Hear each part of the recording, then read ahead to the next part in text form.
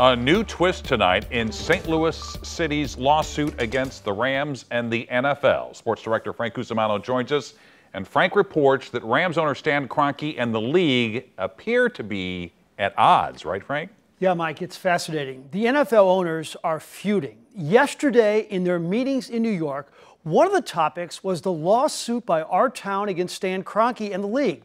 It got so heated that the commissioner asked Stan to leave the room. Kroenke said he doesn't think he has to pay the legal fees for the league in this case. He promised to do just that in Houston five years ago. Among the revelations, according to ESPN, Giants owner John Mara firing back that he and his fellow owners would not have signed off on Kroenke's relocation and stadium plan if he didn't pony up all the legal fees. So Stan says he's not paying and it's going to get expensive. Never in his wildest dreams did Kroenke believe that uh, the league and him personally would be vulnerable to a multi-billion dollar damages award. And that's what an indemnification agreement does. It essentially says to your fellow owners i'm going to cover your legal tab entirely. He didn't think this would be a multi-billion dollar case when you stack up all the different damage calculations and computations, the different categories, it could wipe out a minimum of half of Stan Kroenke's net worth. He's worth 11.7 billion as we speak. So I asked an attorney in town tonight who knows Kroenke very well.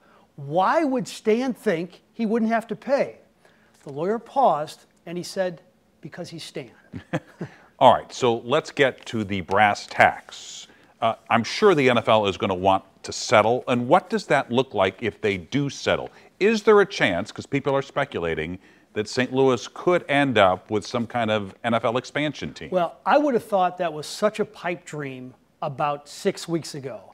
But as this case gets worse and worse for the NFL, credible people, people who know the league, attorneys, are all saying it's a realistic possibility. And we would need an owner and would they build the stadium? Because they say the Trans World Dome, as what we used to call it, isn't yeah. good enough. Well, we'd have to build another stadium. But remember, the NFL, in building another stadium, usually gives you 250 million.